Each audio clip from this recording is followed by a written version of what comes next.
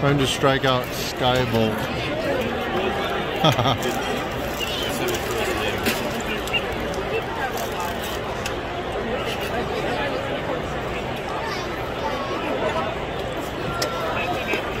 yep. Sean